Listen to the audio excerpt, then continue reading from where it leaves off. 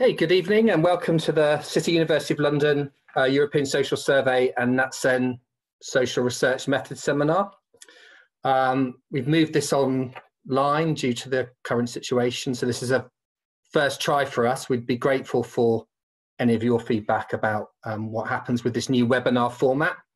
Um, just a few housekeeping things. Um, we've asked everyone to please turn their video off to increase uh, the bandwidth that we're all using. During the presentation, uh, everyone will be muted, but there is a chat function. So please have a look in the settings, find the chat function.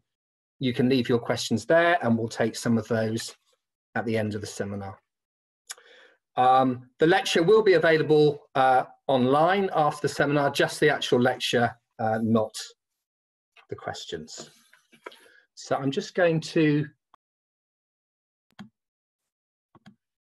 unmute our speaker.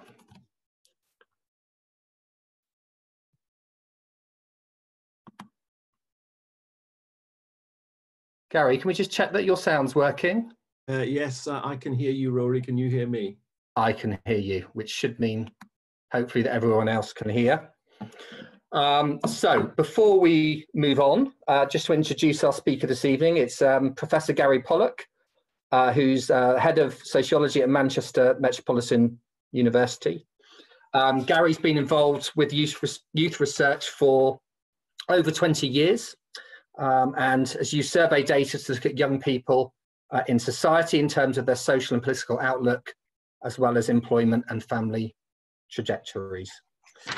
Um, Gary's been the co-editor of uh, Radical Futures, Youth Transitions and Activism in Europe, a sociological review a monograph series, and in recent years has been working towards the development of the European Cohort Development Project through his coordination role of the MyWeb project and the European Cohort Development Project. So we're now going to hand over to uh, Gary. So if Gary, if you could now share your slides. And again, please do use the chat function if you'd like to, to leave any queries for the end. Over Thank to you, Gary. Much, Rory. Uh, let me also switch my video on. Um, okay. Hopefully people can see me now. Um, now share my screen.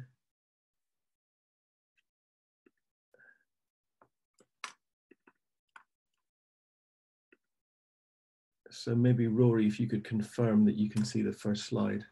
That's great, we can do. Just say to everyone, if you want in your options to choose speaker view uh, rather than the, the, kind of grid format, that works well. You'll see the slides in the middle and Gary uh, to the right with a very nice view of, uh, of Manchester in the background. So over to you, Gary.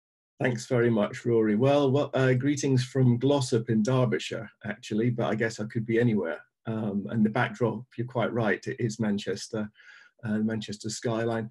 But for anyone who's been to Manchester recently, you'll know that that's actually not uh, the current skyline of Manchester. We've got a we've got a huge amount of building work going on. So the, the, the horizon is full of cranes, um, uh, and, and they're calling it Manhattan. Uh, there's lots of skyscrapers getting built. Anyway, um, on, on with the seminar. Uh, thank you very much, Rory, for inviting me to do this seminar, which of course I was supposed to be doing in person but uh, I'm actually very pleased to be doing it in webinar format. I think that it's a good thing that we do engage with these uh, technologies. We've had them for ages. Why aren't we using them? Um, so let's let's get used to them. Uh, we'll be forced to get used to them, of course, in relation to the, the, the, the current context. So I've got the pleasure to talk to uh, people about um, uh, Eurocohort, uh, what we also call growing up in digital, digital Europe over the next uh, 45 minutes, and then you'll have an opportunity to, to ask me uh, some questions uh, at the end. Um, I've got a, a, number of slides. The slides, I should warn you, I've got a lot of slides, um, but uh, they are, um, they're, they're visual, they're not text-rich slides, and as Rory said at the uh, outset, um, they will be available afterwards. So if I do flick through some of them uh, quickly, then you'll certainly get the opportunity to review them at a, at a later point. So, um, so here we are, um, Eurocohort. Uh, first, um, what we call the first uh, Europe-wide longitudinal study to measure child and youth well-being. Um,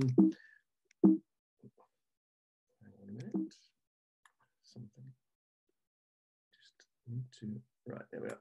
So first of all, then the structure of what, I'm, what the talk's going to be. Um, I'm going to be, uh, first of all, talking about the background to the, the Euro cohort project, what its drivers were, and what we've been doing for a number of years.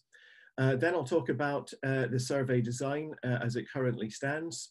Then it's question the questionnaire content, because we've got some um, draft questionnaires already. Um, then I want to also talk about uh, something which we did, which was quite interesting to inform the content of the questionnaires, which is what we did uh, a four-step, uh, foresight exercise, um, which is quite prescient, I think, in relation to the kind of unpredictable events which we're all experiencing at the moment. And then finally, I want to talk about next steps, you know, so ha having taken it this far, um, what do we need to do to take it um, uh, further and to make sure that it uh, comes into being.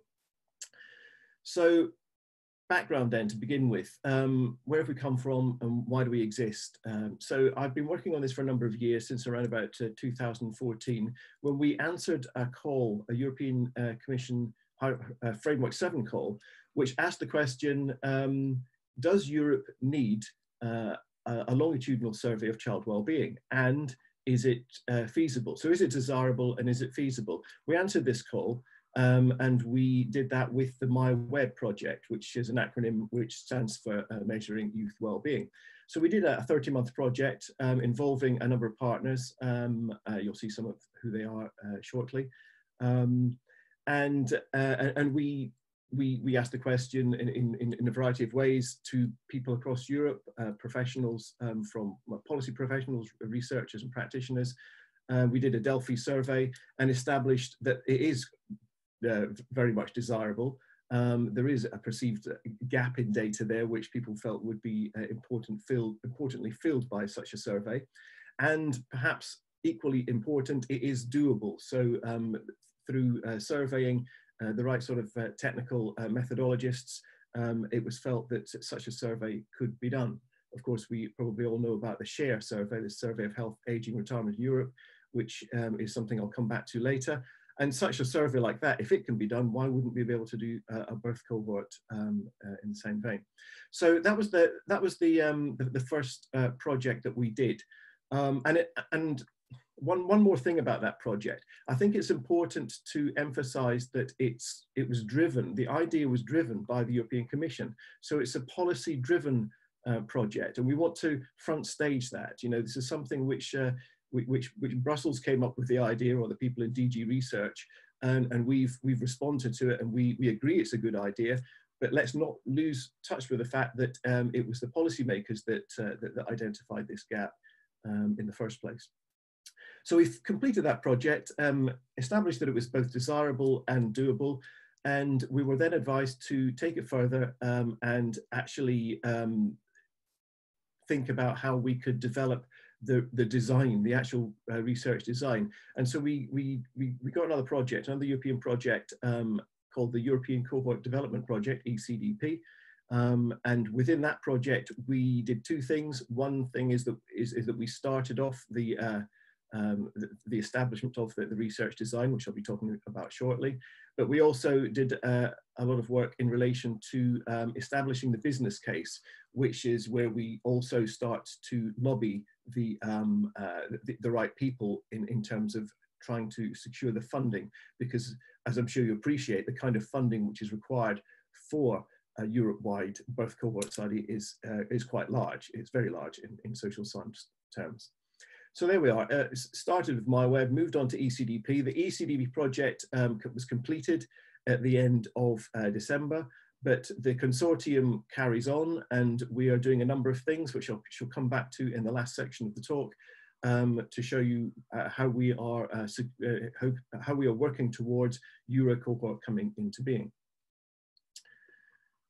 Um, so yes, in short, um, the, the Euro cohort uh, survey would provide uh, important data which doesn't currently exist, so it addresses a data gap. We are um, policy driven, and so the, the important, um, the data which we produce should always be uh, usable in relation to evidence-based uh, policy making.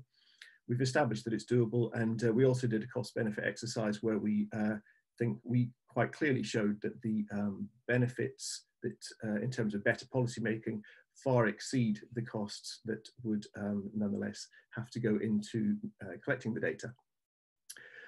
Uh, on the right hand side of that slide, um, you can see a number of uh, scientific um, uh, priorities which we think uh, it also delivers. So while we're policy driven, it is nonetheless going to be a high quality scientific um, survey with multiple uses.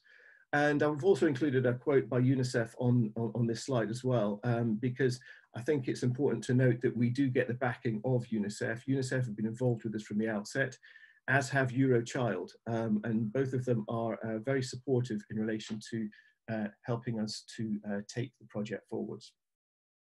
So um, we've been working with a number of uh, uh, partners across Europe um, uh, thus far, and we are continually extending our reach. So if I can just show you on the map, the red countries are where we ha had presence for the MyWeb and for the ECDP projects. And we've extended, we're already extended outwards into other countries um, uh, as a result of what we've been doing and the interest that we've been uh, uh, uh receiving, uh, people wanting to join in and, uh, be part of what we're taking forward. So the green countries are the new ones and the red ones are the ones we've been working with already. Um, okay, uh, stepping back just a little bit for a moment um, and, and raising the question, well, why do we need this survey?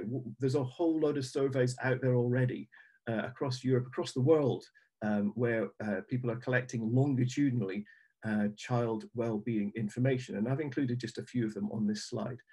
Um, and the, the, answer to that question is that, uh, of course, while these surveys are all great in their own right, um, uh, many people have had a, a desire to, to compare them uh, for obvious reasons, you know, to, to see how far, um, you know, what's happening in one country is also happening in another, how we can learn from one country in a different context. And um, because these, these surveys all have their own internal logic, their own uh, question banks, their own uh, methodologies for sampling, their, and, and their own unique timings when it comes to when people are in the field and the age group that's being surveyed, there are all sorts of problems when it comes to the harmonization of the data. So the only way you can really do the, the, this sort of comparative work is through post hoc harmonization. So the beauty of the Euro cohort project is to, is to through input harmonization, um, ensure that compar comparisons can truly be made both longitudinally, but more importantly, um, between countries. And so uh, what we try to show on this slide is, is, is, is just that, that on the left-hand side, you know, we are, um, the Euro cohort is, it would be fully harmonized, it would be a common questionnaire with a common methodology rolled out to all participating countries, which would mean that um, it's, it's possible to, um, to easily, uh, more easily, uh, compare the data, unlike with the post-harmonization methods which are required for all uh, existing surveys. Um, okay, so let's um, move on to the survey design. What is it that we are planning to do? How would we go about doing it? Um, and so I've got a few slides here just to show you the uh, where we are with it um, uh, and uh, in relation to the, uh, the size of the samples, the, the, the frequency of data collection, um, and when we would hopefully be getting into the field as well. So starting off with um, a graph, um, what you can see first there is that we are planning an accelerated cohort study. So we would go into the field firstly with an age eight cohort, um, which we would call C1, and then we would uh, we would plan to survey that cohort every three years up until the age of uh, 24.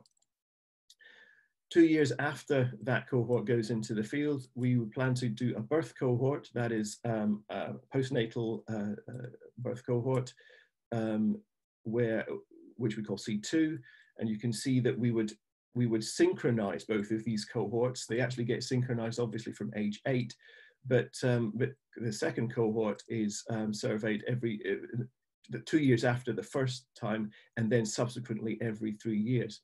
So what we've got there then is um, is a structure which allows us to make direct comparisons between cohorts from the age of eight. Um, but because it's an accelerated cohort, it allows us to, to do some um, pseudo cohort comparisons before then. Um, Okay, uh, a little, uh, just one, one uh, other thing about this um, this uh, graph is to mention that um, we did um, model doing it in a number of different ways with more frequent and less frequent data collections. And we've arrived at this as a, as a suitable uh, structure because it means that we are not constantly in the field. If we, if, if we did it, if we did data collection every two years from each cohort, the testing and the field work for the actual waves for both cohorts would mean that we were constantly in the field with overlapping processes. And while there would be overlapping processes here, it's nonetheless more doable because we've got, uh, we've minimized the amount of uh, overlap be between the cohorts. So it's something which we feel is, uh, is a feasible proposition. Now, another thing it, you, can see on this graph is that there are timings. Um, so projected to go into the field for the first cohort in 2022. Well, that would that was something which we were working with and have been working with up until this point. Um, of course, that's partly funding dependent, but it's nonetheless important to get a first impression of when we think we could have gone into the field. And um, some of the subsequent slides use this 2022 um, starting uh, time, but um, it's important to know that, of course, it, it could change, it probably would change and be later, and therefore all subsequent dates would also change. Okay, sampling design then. Um, so uh, so the sample is, is, is, absolutely fundamental to the, the, the survey because it, gives its, uh, its, uh, its scientific credibility. If, you, if you've got to get the sampling right um, in order to draw the people in, draw the scientists in who are going to be interested in using uh, the data. So we will have a central sampling team uh, much as other uh, international uh, surveys do, like the, like Rory's ESS and like Share Survey, and that sampling team will um, draw up the guidelines and principles and parameters by which the sampling will be done in each country. The most important principle of which is that it will be a probability sample, a high quality sample which, will, uh, which can withstand um, uh, inferential statistical analysis. Uh, but of course, because we're dealing with different sort of legal contexts, different countries, different population distributions and so forth, the actual samples which will be done in each country will be quite different. But the, so, so although the, the, the sampling the sampling will be different between country, there will be commonly prescribed um, uh, methods and, and commonly just uh, commonly prescribed uh, levels of statistical precision uh, with which the, the sample must comply and um, and just yes, of course, we uh, samples can be uh, clustered, um, and, and, there will be uh, that can be acceptable. Okay, uh, moving on then, thinking about the population coverage. So, um, uh, assuming that the the first the first um, cohort would be in the field in 2022, then we've given an indication of what that first cohort, the birth dates of that, that, that first cohort would be there they would run from the 1st of September 2013 um, to the 31st of August in 2014, and that would give us the, the age eight cohort, age eight, age eight and three months. Um, and so what the important point to make here is that we're doing full year sampling. So, uh, so it's important methodologically, uh, scientifically to have uh, a representative um, uh, section of population throughout the year because we know that so many effects for young people are uh, dependent upon uh, the, the month in which you're born. So it's not just about achieving a sample within a particular time scale without um, uh, and, and, being less interested in the months. The actual months of the data collection are important. And similarly for the second cohort, it's a full year, um, a full year window with, for, the, for, the, for the sample to take place. in terms of the sample size, um, the, uh, most crucially, uh, you know, we're, we're a relatively it's, it's, a longitudinal project. And we would want to survey people up to the age of 24 at least. Um, and so the sample sizes have got to be large enough to, um, to be uh, representative even at the end of that process, taking into account uh, attrition. So um, much of the work that we've done has been looking at uh, expected uh, attrition rates and then uh, arriving at sample sizes which we believe will be um, sufficiently large uh, across all of the participating countries. And as you can see there, the uh, sample sizes that we have uh, arrived at are for the age 8 cohort, um, 8,000, and for the birth cohort, 10,000. Um, and uh, also, of course, because some countries have got much smaller uh, populations for which those, those figures would be far too large uh, and, and small birth rates, that, uh, that, that, there is a, a waiver that, um, that uh, these numbers could be 5,000 for the uh, birth cohort and 4,000 for the infant cohort in such countries. But we wouldn't want to go any lower than that because to go any lower than that, you know, we don't want a sliding scale because uh, it's important that there is that for statistic, statistical comparability that, um, that, that, that, such sample sizes uh, need to be uh, adhered to. Okay, so that's that's it in terms of uh, that's all I want to say in relation to the sample. And so I want to uh, move on now and talk uh, a little bit about the, the, questionnaire content. So what I'm going to talk about is uh, first of all how we went about um, establishing the, uh, the, the content process uh, we, we, went through.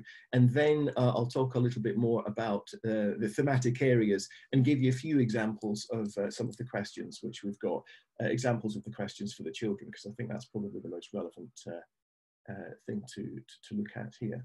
So in terms of the, the process that we've used um, for content selection, uh, sorry, for the, for the questionnaire, it's first of all thinking about the generic content uh, that we would want to have there, um, then prioritizing it, uh, thinking about what's most important, and then looking at the particular items which we want to need. Um, we, we had a consultative process with all of our partners, um, and then um, and, and, and, then we've we've started to construct a long-term plan. We've not got uh, we've not got into the piloting and the translation parts of it yet. Um, uh, and we've so we, we do have draft questionnaires now in all likelihood these questionnaires are going to be too large um, there is going to be a need to cut them down but we've already done some of that sort of selection throughout this this process um, in relation to how we went about establishing the uh, the, the, content um, we had four main content drivers uh, policymakers, of course, because we're policy driven, scientists, because of course scientists need to be involved, We've got to get these things right, existing survey instruments, because a lot of uh, there's a lot of work done out there already with uh, uh, question banks, which are, are, well tested, and so we certainly would plan to use those.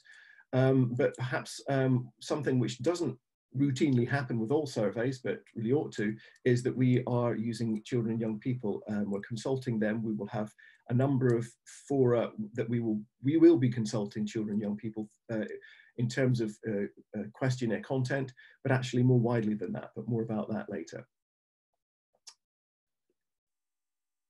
Uh, when we were looking at uh, all of the different uh, questions, um, we felt that it, there was a need for criteria um, that all questions would have to uh, achieve uh, in, in, relation to actually being selected. Uh, and these are listed on this slide here where we again assert the importance of uh, policy relevance. Of course, things have to be longitudinally relevant within a, a longitudinal survey. The, the, we need to be multidisciplinary. Uh, it's not just it's not good enough just to be focused on education or psychology. It's important for the economists uh, uh, and the um, and sociologists um, and, and, so forth to, to, to, to be able to see, and the demographers to be able to see that there's important data in there um, such that we've got to maximize the user base. Um, uh, it's a funding issue partly, of course. Um, international comparability, yes. I mean, it, we any particular uh, concept or question for which there, there could very well be particular problems when it comes to international comparability, doesn't pass that test, then it really ought not to be included. And then fine, finally, of course, um, the, back to this issue of child centricity. We want, as far as possible, to ensure that we adhere to uh, a principle of child centricity. Uh, and that comes, that, that, that, that's included not just by consulting children in questionnaires, and the, the methods and so forth, but also in, in, in thinking about um, how we approach um, questions about child well-being that we might be asking parents. You know, so if given the choice between who should we ask the question to, you know, uh, uh, parent or child, maybe we do both. Uh, but how do we value uh, value that uh, uh, value the answers from each? And that's sort of partly where this slide's going as well. You know, um, making it, it, when looking at the questions, you know, we would identify the topics, think about exactly uh, at what age it would be relevant and then establish who would be the right person to ask and where a child can be asked something we our view is that they certainly should be asked you know parents will give us a whole load of information um, which is important and relevant, and I've got a slide on that later. But uh, there is a principle where uh, if, if the child can, can, uh, can answer a question, we should, um, we should certainly be listening to their response. So, so this child centricity does come from a belief in that, you know, at age eight, um, child, children do have the cognitive capacity to be able to talk about uh, their own well-being, to talk about their own experiences, to talk about um, their lives, and to, to, to give us, if we ask the questions in the right way, that um, that we that we can actually interpret that data uh, appropriately. And that's something which we've been working with right back from the MyWeb days, is involving children in the research process. So with the MyWeb project, we did a whole lot of cognitive testing because we what, what we wanted to assert was uh, the age at which we felt that this cognitive capacity was certainly there. And so we did, we pushed it down to seven um, in, in the cognitive testing, which we did. We did it in six different countries in MyWeb. Um, um, but it was it was becoming problematic. So so at, at, while we know that, for example, the Millennium Cohort Survey asks children questions at age seven, the kind of questions that we want to ask to do with, for example, uh, subjective well-being, um, we feel are more appropriately at, appropriately asked at uh, age eight. Um, the importance of child centricity, of course, is also there in relation to the fact that um, we really do need to build children into the process. These policies, which uh, people are going to be using the data for, will have a direct impact on children. So the more we involve children in uh, in the research process, we feel is actually going to be is going to enhance the the, the policy uh, development process. Um, and so I, have already mentioned this to some extent, that it's not just about informing the content of the questionnaires.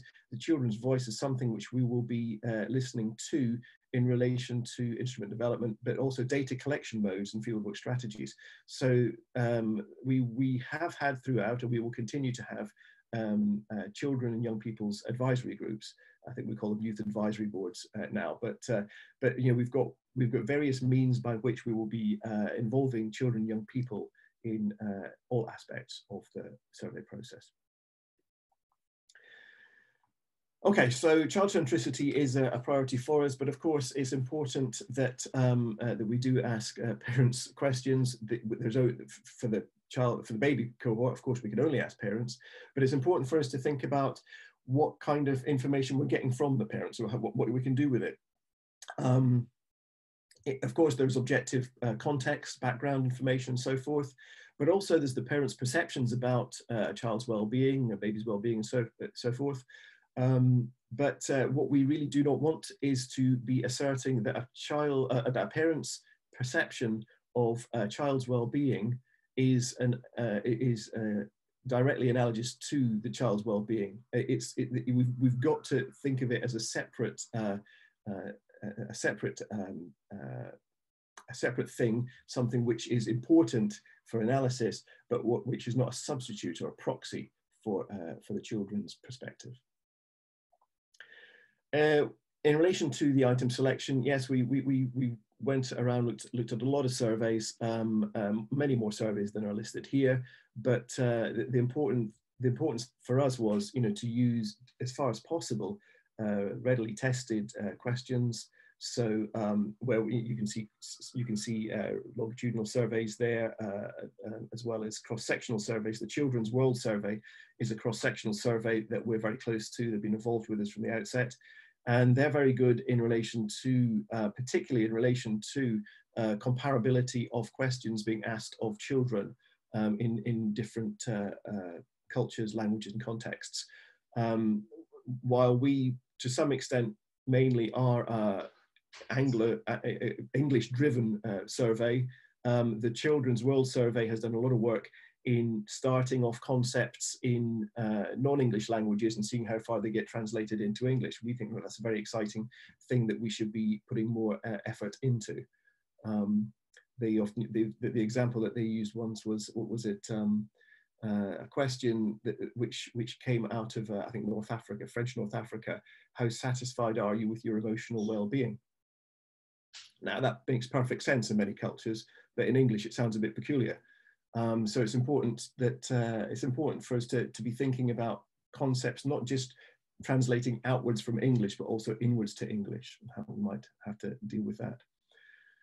Um, Okay, so yes, so it, in relation to the process of, of selecting the questions, you know, we we had we had uh, we looked at all these uh, items. We tried to check on Anglocentric tendencies. Uh, we got our partners to uh, rate the relative importance of each of the items uh, and give us any any other notes, and to identify any, any identify any particular gaps. So that was how we we uh, used the, uh, our partner, our consortium partners in relation to defining what should be put into the questionnaires. And what we came out with um, is for each of three questionnaires, a list of uh, uh 10 main thematic areas. So what we've got uh, are three questionnaires, uh, three draft questionnaires, um, two questionnaires for the child cohort, um, one for the child, one for the parent, and then one questionnaire for the um, for the, uh, the, the parent of the baby. Now, going into a little bit more depth, as I promised earlier, I want to show you just some of the, the questions that we've got that uh, for, the, for the children to, to, to give you an idea of the kind of questions that we would uh, foresee asking. So the main thematic areas there, as you can see, are listed, starting with subjective well-being and finishing off with uh, children's rights. Um, and so just as an example of the, uh, a question that we would use, which has been adapted from the Children's Society on subjective well-being, which allow us to develop a, a, a subjective well-being scale. So we would, we would have a, a, a Likert type answer structure for, this, uh, for, for, these, uh, these different items. And you can see uh, the different um, the different uh, the different items there to do with my life is going well, my life is just right, etc. etc. So so subjective well-being is captured using that uh, bank of questions. Then um, something which is taken from the uh, uh, International Survey of Children's Wellbeing, the ISCWeB survey, um, in relation to family uh, relationships, again, where we're looking to um, develop a, uh, a scale uh, which help us to understand uh, a child's perspective on family relationships, for which you can see the, the different items there. I don't propose to read them all out. Um, time use, uh, a, very important um, aspect uh, in relation to you know understanding exactly what would be um, what would be uh, what what young what children are doing, um, what they prioritise. Um, uh, and we've done a number. We've done some testing in relation to what would be the appropriate answer structures for for these uh, time use questions as well, because we know that uh, for eight-year-old children, for some eight-year-old children, concepts of time are actually quite problematic. So we've got to be very precise about uh, how we go about uh, giving them the answer structures for those. Um, a feeling safe scale, um, because we know that uh, one of the important uh, um, concepts that we need to get on top of, uh, make sure that we represent, is, uh, is safety um, and things to do with bullying in school and so forth. And then finally, um, uh, in relation to the children's questionnaire, an example of how we would go about, or we could go about, uh, and we're planning to go about, uh, asking children about uh, their own rights. So, so what we pr propose to do there is to present children with a, a, vignette and ask them about the extent to which they agree or not with it. So Betty is nine years old, she keeps a diary and she has said that nobody else should read it, not even her parents. Her parents insist that they should be allowed to see her secret diary. Betty should have the right to keep her secret diary. Do you agree or disagree? So uh, human right, our children's rights is, is something which we feel is something which is not really adequately represented in many surveys and perhaps not enough certainly in, uh, in uh, birth cohort surveys. Okay, so that's it for the, um, uh, for the, all I want to say about the, content of the children's survey. Um, and now, of course, we will be asking a significant number of questions off the, um, uh, the, the, parents' uh, children, so the parents, the children's parents, and, um, uh, and and that will be giving us a lot of value, valuable information, which will understand as the understand the help us understand the context within which these uh, children are being brought up and uh, within which their lives are unfolding. And so the parents' questions will will be certainly giving us that objective circumstances type of uh, information, but we will also be asking them about their subjective evaluations. So while we do prioritize the voice of the child, we do understand that it's important to be able to, to, to understand what the perspective of the parent is in relation to what's going on in, in the, the household as well. Um, uh, and and in relation to, as with all um, uh, as with all uh, longitudinal surveys, you know, we, we're looking very closely at those questions which we will we, need to ask at wave one and which will not be asked uh, subsequently, and those um, those uh, questions which we would be expecting to ask at uh, at every every wave in order to confirm and reconfirm stability or instability in relation to a number of factors. And I think the next slide, to some extent, yes, we go into that there. So if we if we think about parental employment here, um, you know, th there are some things that we would be uh, asking just at wave one, um, uh, things to do with uh, employment, uh, parents and, mother, mothers and fathers' uh, employment status, um, uh, the the first jobs and so forth. And then in uh, subsequent waves, there'll be a series of questions that we'll be asking, and we will be asking them uh, and getting them reconfirmed uh, every wave. Standard practice for uh, longitudinal surveys, of course. Um, and um, I think this is just reiterating that uh, that uh, we we are interested in parents' ideas, perspectives, views of of the child as they grow up before the the uh, age eight before the time at which we would be asking the children the questions. So it does give us uh, uh, valuable, valuable information. Okay, um, so that's that's all I propose to say in relation to the, the, the question questionnaire content uh, in relation to the, the, the, parents. We have got um, uh, an idea of the longer term plan as well. So we've got what we've we've drafted everything for wave one. For waves two to nine, we've drafted what the themes will be. Uh, and so while I know you won't be able to see the content of that um, uh, that, that matrix uh, there, maybe it will work if you expand it. Um, it it's certainly something which is available uh, uh, in, in public, public documents. Um, and uh, and um, and you can see there that uh, that while we've not got questions mapped out for the for the subsequent waves, we've certainly got the themes. And uh, this graph is, or this this slide is just showing you the cluster of uh, cluster of, of, themes that we will be covering throughout the course of the the, the, the, the, nine waves. Okay, I just want to very briefly because I can see that I'm at 39 minutes past six, and I think it on a 45 minute schedule.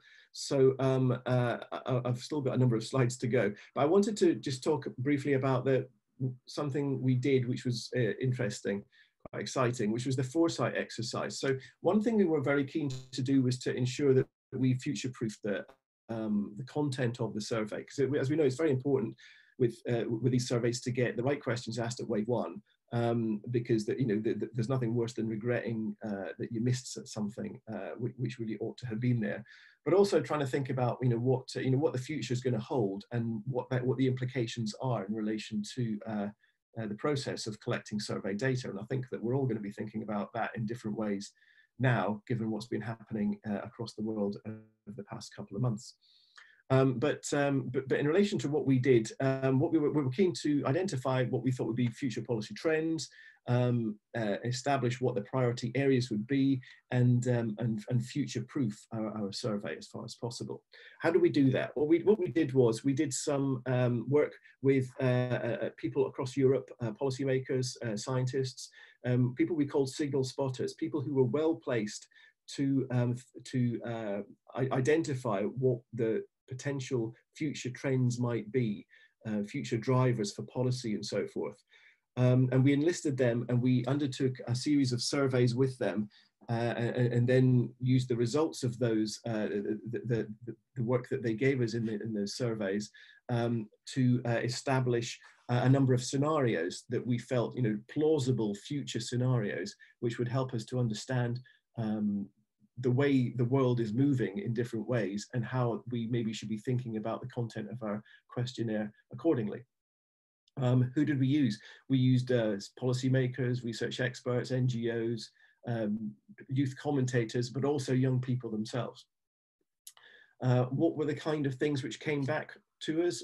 A lot of it is quite predictable um, you know, that um, in a child-centered uh, uh, uh, society, global challenges, digitization, the increasing polarization of inequality, uh, uh, quality of life and work. But the two uh, big ones, the, the, the, two themes which were which came back most strongly were that of contested science um, and the new world of politics. So a lot of what we what we've been experiencing over the past four years with um, you know increasing levels of uh, a different form of politics, a lot of it which is manifest in in populist terms. Um, uh, across across the world, certainly across Europe, but also the way in which science has been increasingly questioned. Um, uh, uh, let's see how far that persists in relation to the importance of science and getting on top of this uh, uh, COVID-19. But, um, but certainly up until this point, uh, science has been brought into question.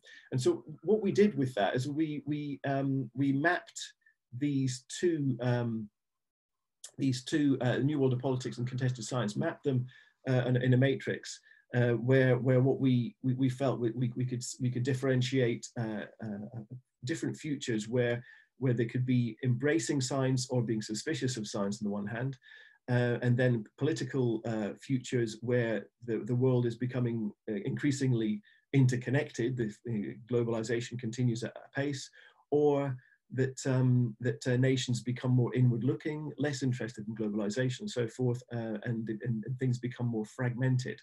Um, and, and in relation to that, we then came out with these different, uh, these different uh, themes which we felt reflected those, uh, where nations would have to become more resourceful, um, where high tech futures would be, uh, um, would be predicted and so forth. And then with those, with each of those different futures, we then um, mapped out different types of storylines um, for children and the implications that that then would have on how we should be collecting data. Now, um, I can't talk about all of that now, but I've put on this slide a link to the URL of the report, which captures this um, foresight exercise. That's as much as I want to say now, but it was a very interesting thing for us to do, and it did help us uh, focus uh, our mind a little bit on the content of some of the questionnaires. Okay, last section of the talk now um, is next steps. So we've um, so we've we've uh, we've got our uh, research design, we've got our questionnaires, um, we've got a lot of people very excited about it. Um, it needs a phenomenal amount of money. Um, how do we get that? How do we how do we how do we achieve what we want to achieve? Um, well, what, what we need to be doing is is looking around and uh, and, and trying to to bring the Euro cohort into being uh, through a, a, variety of uh, activities. Um, funding, of course, is is uh, is always the, the, big thing. Um, and the, and the EU has been very helpful because it's given us two projects already, and we will be applying for a, a third project, as is listed there, a Starting Communities project, um, which I'll say more about in a minute. Uh, building the network, as I mentioned earlier, we are constantly building outwards, getting more partners and ensuring that those partners are the right people to help us to get the funding. Then there's something called the European Strategy Forum for Research Infrastructures, which I know a lot of you know a lot about, but maybe some people don't know about it. Um, but there is a, a, roadmap for new research uh, infra or fledgling nascent new research infrastructures, which we would like to be included on. And then finally it's the preparation phase. How, how do we get up and running? You know what, what, are the next phases that we need to uh, take? So a little bit a little bit each of these and then um, i shall be almost done so the infra ia starting communities grant um, helps us to do uh, three things it helps us to build our network a bit further it helps us to enhance the access to existing data and it helps us to in, initiate some of the uh, piloting that we um, that we would want to be doing to help the, the Euro cohort start. So, so this is uh, the Infra IA starting communities. It's a it's a call within Horizon 2020 which gives um, uh, a, a, consortium the ability to do well. You have to do each of these three things. You've got to be building a network. So the starting community is to do with the importance of cohort uh, surveys and so forth. Um, and uh, uh, we, we need to be talking, showing how what we're doing is important uh, in relation to accessing existing data, but you're allowed to do joint research as well. And so that's where we think we can uh, uh credibly uh, ask for money to kick off uh, the, the, some of the preparatory work for Euro cohort. Network building, um, well, we've already got our core scientific team, people we've been working with for a number of years. Um, national scientific contacts, as I've said, we're building outwards already. We've got uh, the, the new partners, uh, new interest in a, a, range of different countries, and I've listed some of them there. And these are people who are well placed within their countries uh, to get the kind of funding which is needed, to influence the policymakers, the national funding councils, and so forth um, to, uh, to uh, bring us into being. And then the, the ESFRI roadmap. Okay, the European Strategy Forum for Research Infrastructures. There, the, the, there's a number of uh, projects, social science projects on it already. There's the SHARE survey, the ESS, uh, and, and uh, in particular, there's CESSDA is another social science research infrastructure, and we want Eurocohort to get onto this roadmap. So what they have is uh, what they call a life, life cycle approach to research infrastructures, which starts with the concept development, uh, number one at the top there. And uh, that was our MyWeb project, so we established the concept. Number two on this roadmap, uh, uh, this life cycle, is, is uh, design study, which we which was our ECDP project. And now what we want to be doing is moving forward to this preparation phase. Uh, and that, that in order to, to, to achieve that, we need to get onto this roadmap. So we will be submitting to get onto the ESFRI roadmap later in the year. There's a submission process already in motion. And uh, this slide is just to, to show people that we are close to, working with, have been very helpful to us. Uh, of course, the European Social Survey, Rory was part of the ECDP project um, and provided a lot of valuable information uh, to us in relation to, not just in relation to the surveys, but also in relation to the lobbying and the politics of, uh, of, of, these European uh, initiatives. The SHARE survey, as I've mentioned a few times, um, uh, already a research infrastructure, been in operation for some time, show that it is possible to do something as ambitious and complex as we were planning to do.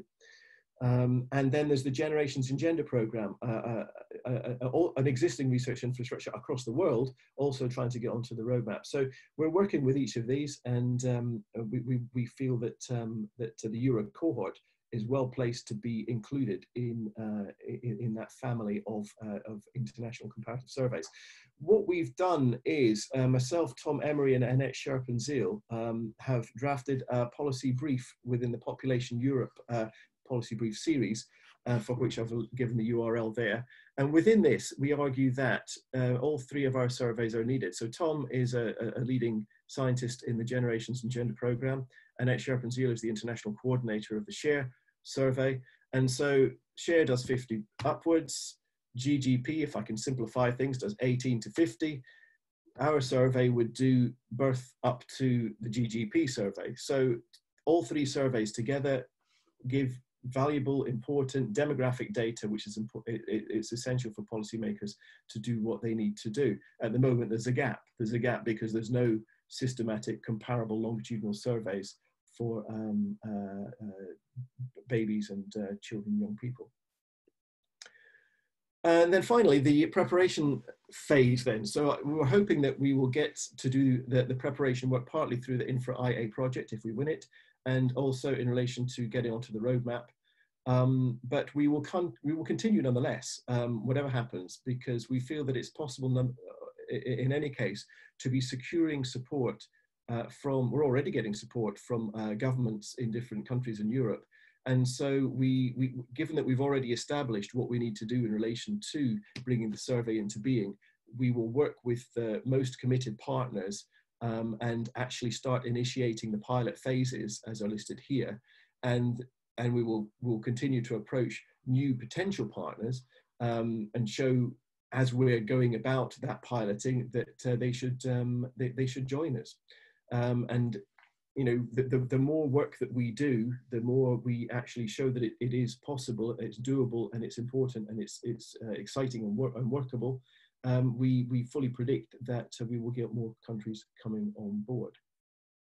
So that's uh, a graphic then to show what we where we're hoping to be in the future. So we've come from my MyWeb back from 2000, 2013 to 16 through ECDP um, and hopefully the ESFRI preparation phase, if we can get onto that, that the roadmap. Um, and then finally, we will become growing up in digital Europe um, at some point in the future and, and survey people up until the age of 24. And so uh, this will be well past my retirement date. Um, but uh, uh, or at least I hope it will be. Um, uh, we will be surveying up until around about 2050. So uh, thank you all for indulging me in uh, talking about uh, the project I've been working on for some time, for many years so far.